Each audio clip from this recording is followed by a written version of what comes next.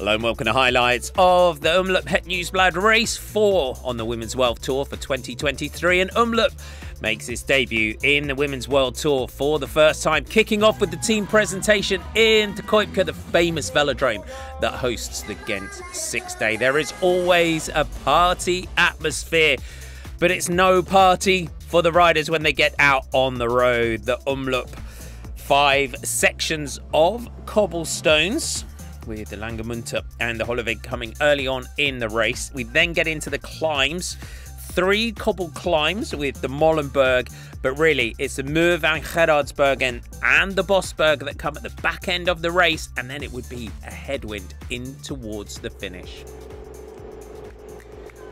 A large group came in towards the final climbs of the race, and Team Movistar were in a commanding position with new signings Liane Lippert driving things at the front. It was a puncture for Kasia Niewiadoma of Canyon SRAM.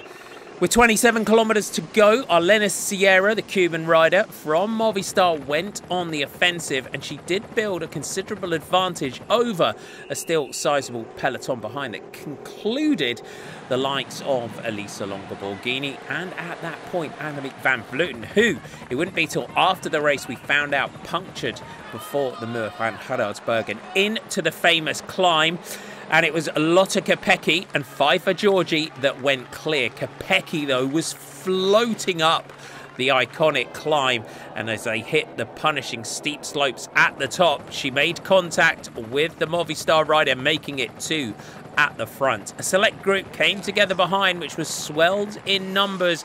This gave teams strength in numbers. They would head towards the Bosberg, the final climb of the day. 1.4 kilometers in length, averaging 5%, maxing at 11%.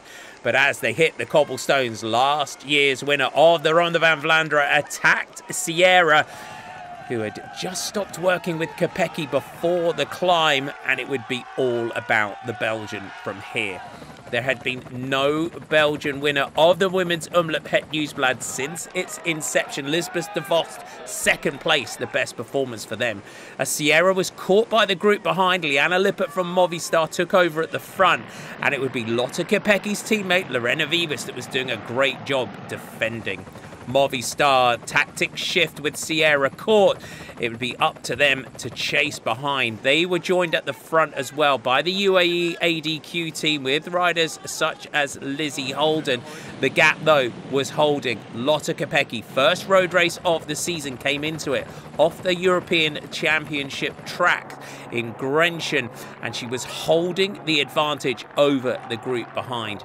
They did make inroads, but it wouldn't be enough. And the former Belgian champion came in to kick off her road season in emphatic fashion and become the first Belgian to win the Women's Omloop Het Nieuwsblad. Lorena Wiebes, her teammate, made it a 1-2 for SD Worx, with Italian Marta Bastianelli taking third. Celebrations all round for Team SD Worx. What a day, what a rider.